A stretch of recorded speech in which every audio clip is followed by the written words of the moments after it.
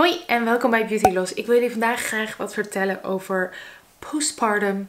ehm, het moment nadat je bent bevallen. En ik wil mijn tips op dat gebied geven. Want niemand, echt werkelijk niemand, heeft mij verteld wat het met je doet na de bevalling. Je denkt vooraf dat het vooral gaat om hè, hoe zal mijn huid eruit zien en hoeveel stretch marks heb ik en zo.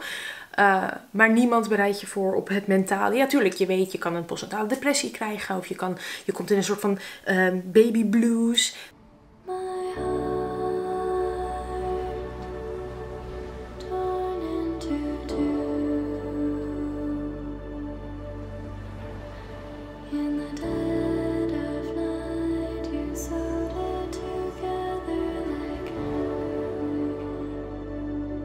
Maar even verder lekker normaal doen. Nee, je hebt een kind gekregen. Hoppakee, je kan er weer tegenaan. En wat goed van je dat je eerder gaat werken. Woep, woep. Nou, daar ben ik het sowieso helemaal niet mee eens. Hoe kort eigenlijk wij hier in Nederland verlof hebben. Ik vind wat dat betreft dat ze het veel beter doen in de Scandinavische landen. Waar je dus echt maandenlang niet meer werkt en gewoon met je kindje bent en zo. Um, maar ook in andere landen. Het is heel normaal dat bijvoorbeeld papa en mama evenveel verlof hebben. Nou, dat vind ik nog steeds heel bizar. Hoe in Nederland dat gewoon niet eerlijk verdeeld is. Kijk, nu mogen papa's iets langer thuis blijven, maar waarom niet even lang als mama's? En waarom niet gewoon lekker samen langer? Ja, ik weet, het is ook een financieel ding. Maar ik denk ook dat de gelijkheid tussen papa en mama, uh, dat dat begint bij verlof wat hetzelfde is. Ik bedoel, waarom wordt daar nu al een verschil in gemaakt? Dat, dat de vrouw langer thuis blijft en de man eerder moet werken. Echt, ik, ik kan er niet bij met mijn hoofd. In mijn situatie, postpartum, um, ik werk voor mezelf, ik ben ondernemer, um, kreeg er ook. Uh, en wij hebben besloten heel bewust om vier maanden niet te werken. Nou, als je een ondernemer bent, dan, dan is dat in principe... Ja, je krijgt gewoon minimumloon vanuit de overheid. Vrouw alleen, man niet, die krijgt niks. Um, lijkt me ook weer zo lastig als de man dan de kostwinnaar is en dan een bedrijf heeft. En nou goed. Dus er moet nog zoveel gebeuren wat dat betreft. Echt waar. Ik hoop echt dat dat, dat, dat op een gegeven moment wel weer anders wordt. Wat mij betreft de basis van de inbalans van man en vrouw. Um, maar wij hebben er dus zelf voor gekozen, zelf gespaard om gewoon vier maanden even helemaal rustig met baby te kunnen zijn. Ik dacht eerst, joh, waarschijnlijk ga ik vast wel na een maand weer werken, dingen doen. -mm. Niemand had mij voorbereid op het mentale deel. Want daar ga ik het vandaag ook even over hebben. Want het is echt niet niks. Als je bevallen bent, het doet iets met je lijf. Kijk, je bent daarna, je kan amper lopen. Uh, nou, mag je blij zijn als je niet uitgescheurd bent en zo. Maar hier, nou, ik weet niet, baby blues. Volgens mij duurde die wel een paar weken. En natuurlijk is er een verschil tussen je leven is helemaal veranderd en, en je weet niet wat gebeurt en je bent een beetje van slag ervan. En echt een, postnatale depressie. Maar ik mag, vind dat hier ook wel wat meer aandacht voor mag komen. En dat elke vrouw ook echt wel even tot rust mag komen. En niet gelijk al in haar spijkerbroek met kraamvisite op de bank drie uur zitten. Um, dat is denk ik mijn allereerste tip die ik aan jullie mee wil geven. Doe lekker rustig met het kraambezoek. Ik had het al van vriendinnen gehoord. Van niet iedereen helemaal laten komen en alles de eerste week. Want je kan het niet aan. En wij hebben in principe alleen opa's en oma's op bezoek gehad. Ook gezien de situatie. En toen hebben we, nou, ik denk na een maand rustig aan. Dat er vrienden langskwamen. En dan eentje per dag. Of één koppel per dag. En dan een uurtje misschien, nee, meestal een uur, zoiets. Mensen gingen gelukkig ook uit zichzelf weg. Op een gegeven moment van, joh, er is een uur voorbij, ik ga er vandoor. Um, maar laat je alsjeblieft niet ompraten om iedereen maar op bezoek te hebben. Want je hebt het hartstikke zwaar en vooral mentaal ook. Het is gewoon een ding. Je hebt gewoon een mens op de wereld gezet. Je moet ervoor zorgen. Er komt van alles bij kijken. Um, het is heerlijk als je het met z'n twee kan doen. Maar again, als papa weer heel snel aan het werk moet dan ben je misschien wel in je eentje. Ja, ik kan gewoon niet geloven dat ik dit nu ook zo uitspreek. Alsof het, dat het gewoon normaal is dat de vader eerder gaat werken. Dan komt hier mijn grootste tip voor postpartum. Ik heb echt intens, intense baat gehad bij mijn postpartum treatments. Ik heb iemand hier thuis gehad. Lela Kramer heet zij. En zij doet dus postpartum treatments. Zij doet massages en yoni-stomen en zo. En misschien denk je, oh, nee, nee, nee. Zet heel even die nuchterheid opzij. Besef je even dat je een kind hebt gebaard, dat je lijf helemaal aan het bijkomen is. Besef je dat overal op de wereld, dat het heel normaal is om een vrouw te vertroetelen nadat ze bevallen is. Postpartum, bijvoorbeeld in China, uh, blijven vrouwen 40 dagen warm in bed liggen. En in andere culturen is het ook de bedoeling dat de hele familie voor de vrouw. Dus voor de baby, maar ook voor de vrouw. Ehm, ze zeggen niet voor niks in Afrika: It takes a village to raise a child. Omdat het hele dorp meehelpt. Hier hebben wij dat niet. Ja, tuurlijk, je hebt je moeder, je hebt je schoonmoeder, je hebt, hier, ik noem nu vrouwen. Maar gewoon, je hebt, je hebt directe familie die kan komen helpen. Maar het is heel anders. Wij zijn hier veel individualistischer. Het is veel gebruikelijker dat eigenlijk alleen de moeder thuis blijft met het kind. Eventueel dan ook met partner. Nou, we hebben dan met z'n twee gedaan. En iedereen is constant bezig met de baby. Oh, baby, oh, wat schattig. Oh, oh, moet ik helpen met de baby? Maar jij hebt ook hulp nodig. Jouw lijf heeft echt iets wonderbaarlijks gedaan. En jij zou vertroeteld moeten worden. Dus ik kan echt iedereen aanbevelen om iets van een postpartum treatment te doen. Uh, in dit geval is zij uh, naar ons huis gekomen om mij een massage te geven. En ik ben nog steeds van, van apropos wat dat met mij gedaan heeft. oh, wauw. Dit is top. Oh, zijn dat van die kruidendingen? Ja. Dit zijn kruidenstempels. Hier zitten twaalf verschillende kruiden in. En die uh, zijn speciaal voor de baarmoeder. Uh, oh, om dus te zorgen dat alle, alle detox en die adrenaline die blasje gewoon uit je lichaam gaat. Echt nodig. En die, uh, en die verwarm ik elke keer. Ja. En die komen dus heel warm op je lichaam. En dan ga ik eerst je energiebanen, die, mm -hmm. die maak ik open. En daarna komen dus die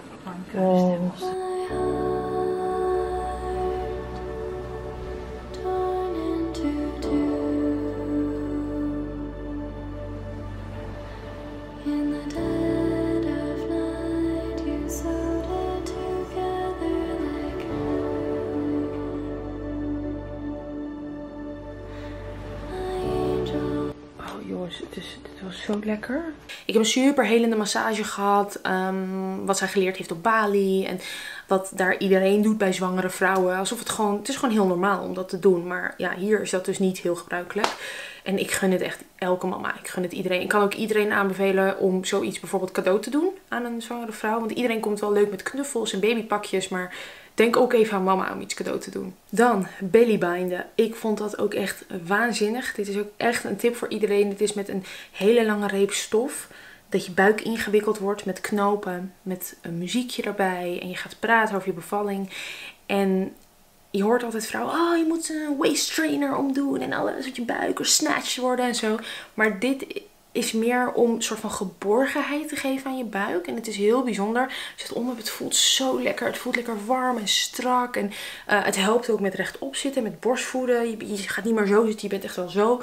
De meningen zijn over verdeeld. Kijk, je moet het niet 20 dagen achter elkaar doen. Ik heb het uiteindelijk 10 dagen gedaan. En ook niet de hele dag. Rond lunchtijd uh, ging Gregor mij inbinden. Dat was wel heel bijzonder. Lela heeft het gedaan, laten zien. En daarna deed Gregor het elke dag. Dus ook even een momentje voor ons samen. Um, en ik kan het iedereen aanbevelen.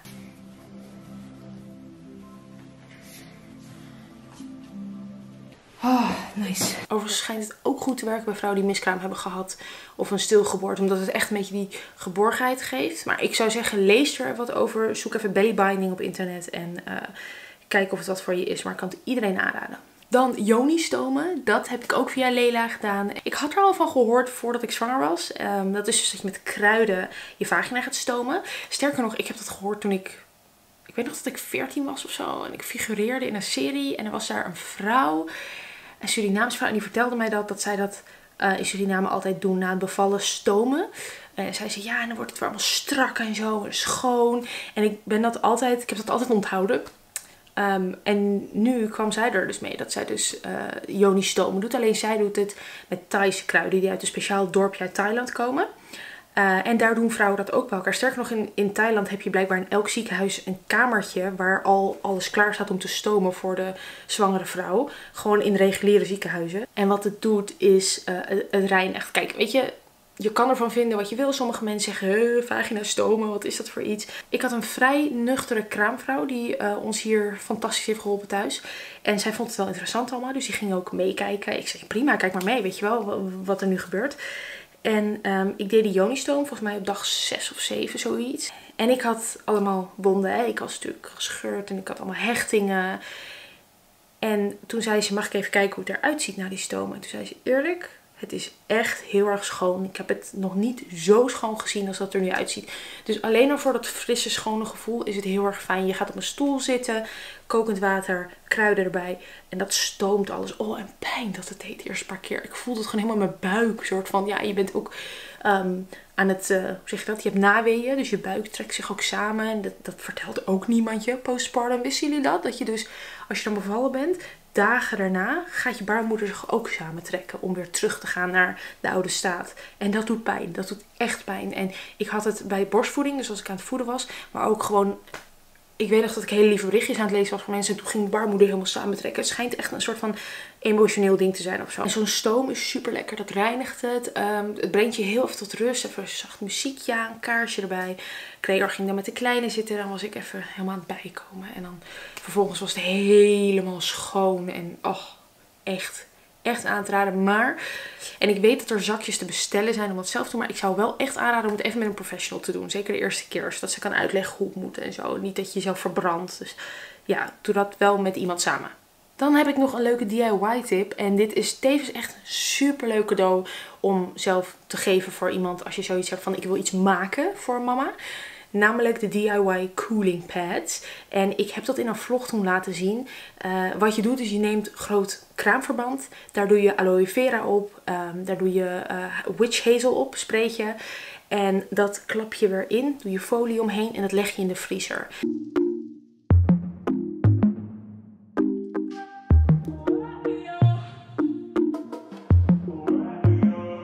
Nou, dan heb je dus allemaal kraamverbandjes die bevroren zijn. En dat is zo lekker om in te doen uh, als je dus net bevallen bent. Want het is allemaal opgezwollen. Het is allemaal vuurrood en pijnlijk.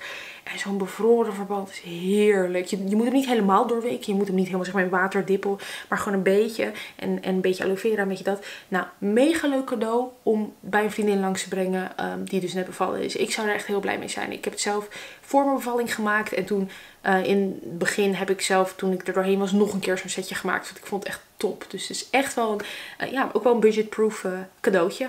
Speaking of kraamverband. Kijk, je krijgt kraamverband in je kraamdoos. Sowieso moet je doorgeven dat je zwanger bent. En dan, als het goed is, krijg je zo'n kraamdoos. Um, maar mocht dat op zijn, dan kan ik jullie deze als tip geven. Dit is absoluut niet gesponsord, maar ik heb gewoon gezocht wat mensen het lekkerste vonden. En uh, deze kwam ook heel vaak bij de comments voorbij. Dat allemaal dames zeiden, je moet die Kotex, dat zwarte pak halen. Dit is heel dik um, maandverband, soort kraamverband. Eigenlijk net even wat comfortabeler een kraamverband. Dus absoluut aanrader.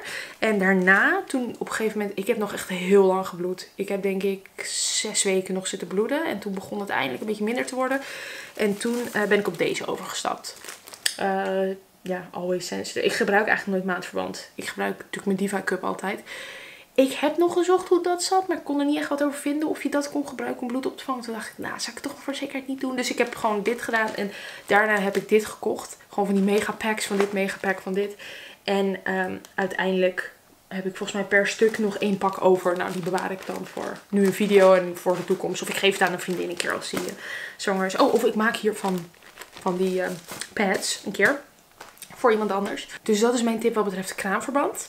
Dan de Perry Bottle. Dat is dit. Dit is echt fantastisch. Kijk, dit is dus een fles. En daar doe je water in. Of kamillethee, nog lekkerder. En dan ga je naar het toilet. En dan hou je hem zo. En dan spoelt hij het allemaal schoon. Er komt een heel zacht straaltje uit. Zo fijn om dan zo zeg maar langs je vagina te halen. En gewoon overal. Um, sowieso in het ziekenhuis wordt me aangeraden om te plassen onder de douche en dan douchekop erbij te houden. Ja, ik, ik weet niet, op een gegeven moment, dat is niet elke keer te doen en zo. En ik vond dit een hele, hele zachte, milde manier om het te doen. Dus elke keer dit dan vullen. Uh, en dan stond hij bij het toilet en het doet zo pijn om naar de wc te gaan. Dat, ik heb het wel gehoord, maar als je het ervaart denk je, oh my god, wat doet het pijn. Nou, dan is het zo lekker om zoiets te hebben. Beetje kalmerend, zo erop. En vervolgens gewoon met wat wc-papier deppen. Um, ja, en dan weer een bevroren, bevroren uh, erin te doen. Dan heb ik nog een tip. Uh, en die heb ik zelf ontdekt per toeval. Um, ja, ik weet niet. Het gebeurde en ik dacht, wauw, dit is geweldig. Dat ga ik doorgeven aan jullie.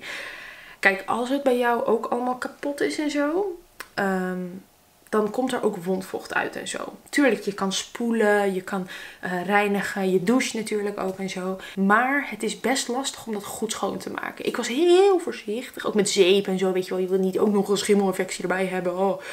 Uh, maar ik ontdekte per ongeluk dat de oliebabydoekjes, als ik die gebruikte om uh, tussen alle hoeken schoon te maken, dus zeg maar tussen, tussen, je hebt dan je benen en dan heb je zeg maar dat, dat stukje zo tussen je vaginawand en je been, daar bijvoorbeeld. Ik ging daar met, eerst met een babydoekje het, maar toen probeerde ik het met zo'n oliedoekje en het werd zo lekker schoon.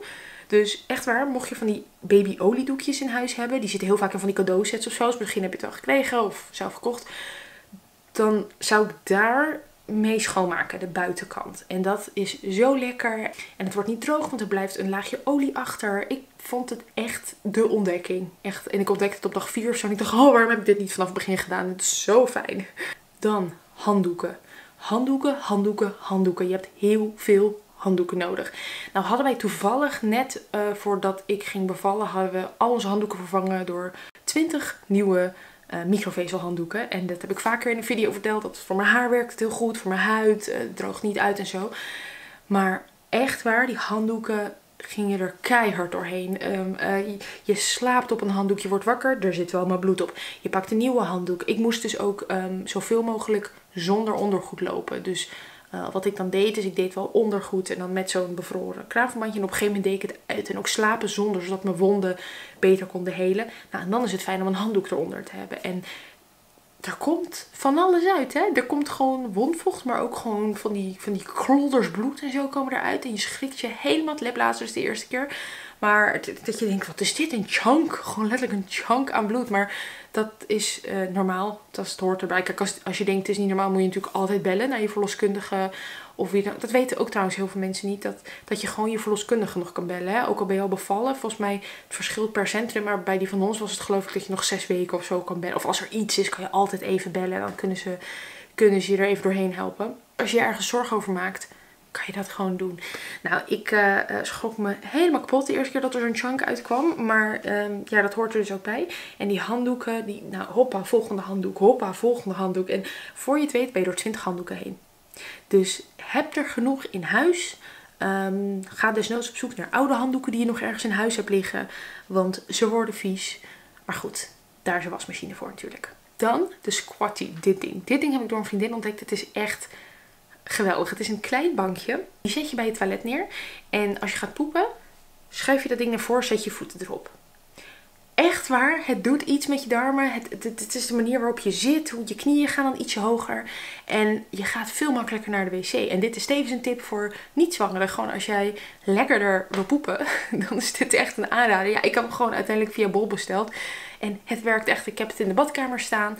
En nog steeds ga ik naar de wc, gebruik ik dat ding. Het is fantastisch. Kan iedereen aanraden. Maar zeker postpartum, uh, vooral als je uitgescheurd bent en zo. Het, naar de wc gaat doet zo'n pijn. Ja, dan outfits. Ik had geen idee wat ik zou dragen. Ik dacht, ja, pyjama's. Ik loop wel de hele dag in van die pyjama jurken. En dat is inderdaad wel een chille outfit optie. Dus gewoon lange pyjama jurken. Broeken, dat werkte bij mij niet. Je hebt van die pyjama broeken dat je denkt, ja, maar het zit lekker los. Ja, en dan heb je zo'n broederige vlek erin zitten. En zeker als je moet laten ademen allemaal, kan je beter een soort van losse jurk hebben. En wat ik zelf ook heel fijn vond, was kamerjassen. Uh, en dat is ook een tip voor uh, als je bijvoorbeeld veel met borstvoeding bezig bent. Dan, dan die kamerjas kun je natuurlijk heel makkelijk openen. Dus in je naki met de kamerjas, prima. Maar ook die gaan de was in, want er komen allemaal bloedvlekken op. Dus uh, bereid je ook voor. Je weet natuurlijk nooit wanneer je gaat bevallen, maar probeer het zo te timen dat je wasmanden echt volledig leeg zijn. Want je gaat zoveel was hebben. Dan heb ik nog een boekentip voor jullie. specifiek voor de dames die een heftige bevalling hebben gehad. Um, ik wist niet dat zoveel vrouwen een heftige bevalling zouden hebben. Ik heb door mijn bevalling zoveel berichten gehad en zoveel ook van vriendinnen gehoord. Ik vind het eigenlijk wel jammer dat er zo weinig over gepraat wordt. Dat niet elke bevalling perfect is. We kennen de scènes uit de films en zo, maar uh, ja, denk niet dat jij gek bent. Want dat hebt een vriendin laatst nog, ben ik nou gek? Want ik, ik, vind, ik vond het echt extreem heftig. Het is extreem heftig bevallen. Ook al ging alles perfect. Ik heb echt gelezen bijvoorbeeld in dit boek over dat uh, een vrouw een perfecte bevalling had. Uh, maar toch had ze er een soort trauma aan overgehouden. En toch werd ze er s'nachts wakker van. En ze wist niet waarom. En iedereen zei ook, hé, maar het was helemaal perfect bij jou. Hoe kan dat nou? En En wat bleek, uh, ze had overgegeven over de jurk. En toen zeiden de verpleegsters, joh, trek die jurk uit. Er zijn zoveel vrouwen die naakt bevallen, maar misschien wil jij helemaal niet naakt bevallen. En zij had dan ook over haar overgegeven en niemand had dat dan weggehaald. En ik kan me heel goed voorstellen dat dat als heel traumatisch kan ervaren worden door jou. Misschien wil jij helemaal niet dat iedereen jou naakt ziet. En misschien had je het wel fijn gevonden als iemand aan jou dacht met het kots wat in je haar zat en zo. Ik zou hem niet lezen als je nog moet bevallen. Ik zou hem wel lezen als jij een heftige bevalling hebt gehad en je wil dat verwerken. Dan is dit absoluut aanrader. Ik las hem trouwens heel veel tijdens Joni-stomen. Dat was ook heel fijn. Dan zat ik op die stoel en dan pakte ik het boek erbij, relaxmuziek en dan ging ik weer lezen. Ja, wel heel goed gedaan. Nou, daarnaast iets om je verhaal in op te schrijven. Want iedereen denkt maar, oh, bevalling gebeurt, la la la. Maar het is zo heftig. Het is waarschijnlijk een van de heftigste dingen die je in je leven gaat meemaken. Dus uh, het is niet meer dan logisch dat je dat wil opschrijven. Nou, jullie weten het, ik wil zelf zo'n boekje uitbrengen uh, om ook te schrijven over je bevalling en dat soort dingen. Daar ben ik mee bezig. Maar um, weet je, al pak je er een schriftje bij, pen en papier, iets, schrijf je verhaal op. Schrijf je het drie keer op, al schrijf je het één keer op, heel uitgebreid. Al teken je het of zo. Het is best wel raadzaam om het een beetje te verwerken. Ook al was je bevalling perfect. Ook al was het helemaal perfect, schrijf het gewoon op. Want je gaat ook op geen details vergeten en zo. En het zou zonde zijn als je ook een mooie, perfecte bevalling niet ergens in een archief hebt. Al is het maar een schriftje. En tot slot, eten. Heel veel mensen die vragen mij, wat moet je nou cadeau doen? Wat is nou een geweldig leuk cadeau uh, voor de kraamweek? Eten. Eten, eten, eten. Echt, je kan een net bevallen vrouw en haar partner eventueel niet gelukkiger maken dan met eten. Gewoon lekker een pan met eten brengen of uh, uh, eten laten bezorgen bij hun of iets. Dit was echt oprecht het mooiste cadeau wat je kon geven. En voor de dames die nu gaan commenten, oh ik stond al in mijn hoge hak en mijn spijkerbroek uh, uitgebreid een diner te koken voor 20 man. You do you. Goed voor jou. Sowieso begint het daar al. Hè? Dan, die, die week is al, al heel erg van... Oh, nou, ik uh, kon gewoon dit doen. En die dag erna stond ik al uh, op het vliegveld om op vakantie te gaan met die kleine. En uh, ja, bij mij was het allemaal heel makkelijk. Please, please, please, please. Vergelijk jezelf niet met anderen. En ook dit soort commentaren en opmerkingen ga je krijgen. Ieder heeft zijn eigen verhaal. Want ik heb dus ook hartstikke veel comments gehad van mensen die zeiden... Nou, ik stond het hele huis te poetsen toen ik net bevallen was. Maar ja, op adrenaline.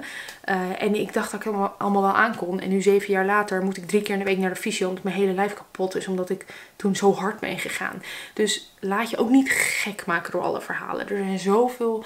Ja, ik weet niet. Ik denk dat er heel veel vrouwen zoiets hebben van zie je wel, ik kan het wel. Misschien dat vrouwen soms een beetje onzeker zijn. En dat ze denken van als ik nu deel hoe goed het bij mij ging, dan, dan stijg ik in waarde of zo. Maar je stijgt in waarde door denk ik andere vrouwen met respect te behandelen. En gewoon hun verhaal aan te horen. En niet per se te delen hoeveel beter het bij jou ging, zeg maar terug naar het eten. Eten is absoluut, absoluut mijn nummer één cadeau. Wij doen nu constant als er vrienden bevallen, want de hele wereld lijkt zwanger en aan het bevallen. Superleuk. Uh, doen wij uh, eten cadeau. Dus wij laten boodschappen bezorgen bij ze. Dat is, vind ik het allerleukste cadeau nu om te geven. Dan doen we gewoon dus bezorgen op hun adres. En dan uh, staat er op het briefje weet je, van Masha Gregor Mila. En ik vind dat zo'n waardevol cadeau. Ik, ik was daar het meest blij mee. Dat, dat mensen eten kwamen brengen en kwamen koken. En, en sowieso mensen die aanbieden, kan ik iets voor jullie doen? Kan ik jullie ergens mee helpen? Dus misschien ook een goede, laat mensen ook helpen. Heel veel, vooral vrouwen, denken, ja, nee, nee, dan ben ik zo'n bezwaar voor anderen. Maar hou ook in je achterhoofd dat mensen het super fijn vinden om een net bevallen vrouw te helpen. Het is niet dat jij vervelend bent dat je iets vraagt. Nee, nee, nee. Vergeet niet dat zij voor hunzelf ook een super lekker gevoel krijgen omdat ze jou helpen. Want hoe lekker zou jij je voelen als jij nu net een bevallen vrouw of uh, stel hebt geholpen door iets te eten te brengen, door iets kleins of door van die pads te brengen die je uit de vriezer hebt gemaakt. Dan denk jij toch ook van, oh lekker gevoel, oh ik hoop dat ze blij mee zijn. Gun hun ook dat gevoel. Het is niet alleen voor jou, het is ook voor hun. Hè? Zij voelen zich er ook lekker bij. Vergeet dat niet. Want ik denk dat heel veel mensen dus geen hulp accepteren omdat ze denken... Jeetje, ik zal wel vervelend zijn of een zeur of oh, oh, wat zullen ze wel niet denken. Nee, nee, nee, nee. Het enige wat zij gaan denken is... Wauw, ik heb iemand geholpen, wauw, ik ben echt trots op mezelf. En jij helpt daar ook bij, bij dat gevoel. Verder kan ik je aanraden om heel, heel, heel, heel, heel erg veel te praten over je bevalling en over de hele situatie met niet alleen je familie, ook je vrienden. Ik merkte wel een duidelijk verschil tussen vrienden die al wel kinderen hadden en die niet kinderen hadden. En allebei hebben ze op hun eigen manier verfrissend inzicht, zeg maar. Dus uh, bijvoorbeeld wij vertelden ons bevalverhaal echt honderd keer aan vrienden.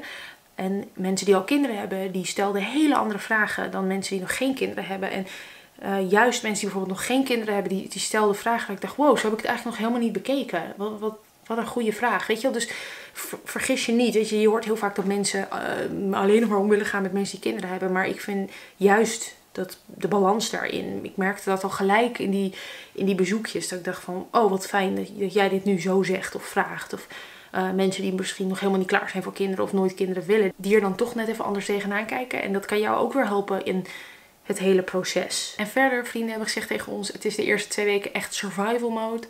Dat is het echt. Echt survival mode. Het is echt...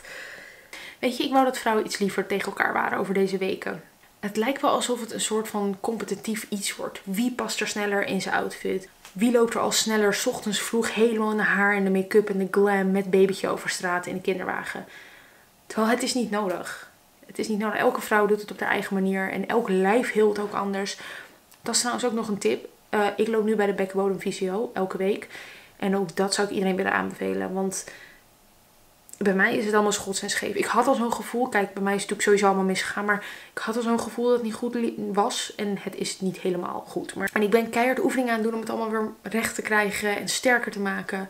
Uh, maar doe dat gewoon voor jezelf. Zoek een bekkenbodemfysio. Uh, check bij je verzekering wat er vergoed wordt.